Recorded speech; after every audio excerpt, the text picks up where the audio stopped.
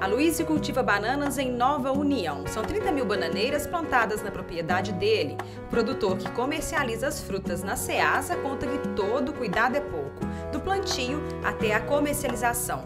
E para reforçar este cuidado e garantir a qualidade, desde 2004 ele conta com o um olhar técnico de um engenheiro agrônomo do IMA para manter o certificado fitossanitário de origem. Não, vai um engenheiro agrônomo no terreno, fiscalizar tudo direitinho. Não é assim aleatório não.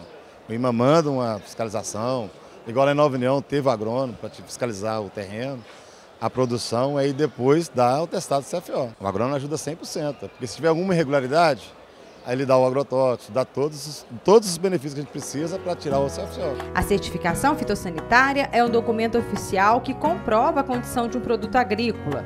O objetivo é prevenir a propagação de pragas dentro do estado.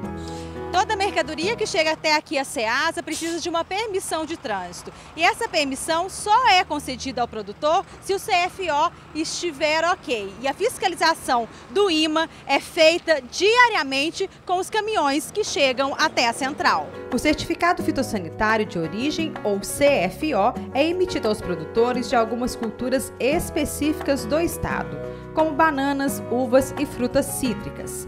É uma garantia de que a produção não possui pragas, adequado ao consumo sem colocar em risco a saúde do consumidor. No caso dos citros, nós temos o canco cítricos, né? nós temos o green. No caso da banana, nós temos a cigatoga negra, o boco da bananeira. Tá? No caso do pinos, nós temos a vespa da madeira, né? o círix noctílio. Então são pragas que precisam, são culturas que precisam realmente né, de estar isenta dessas pragas ou numa infestação baixa. No caso da banana, você pode ter pode sair de banana não só de áreas livres, como nós temos aqui em Minas, como também um sistema de mitigação de risco. É um procedimento que é feito na propriedade, naquela cultura, para diminuir o risco né, de disseminar essa praga para outros estados da federação. O órgão responsável pela emissão desta certificação e a permissão de transporte de vegetais é o Instituto Mineiro de Agropecuária. Engenheiros agrônomos e florestais passam por treinamentos e visitam as lavouras para garantir a qualidade dos produtos que são comercializados dentro e fora de Minas Gerais. Os cursos são realizados em várias regiões do estado. Não é só emitir o CFO, né? Ele vai lá dar uma, uma, uma consultoria, ele tem andar, fazer um levantamento toda a propriedade, verificar se existe ou não aquela praga regulamentada, né, que está sendo exigido para emissão do documento. Esse, nesse levantamento, após o levantamento, ele vai relatar isso num livro, que chama livro de anotações.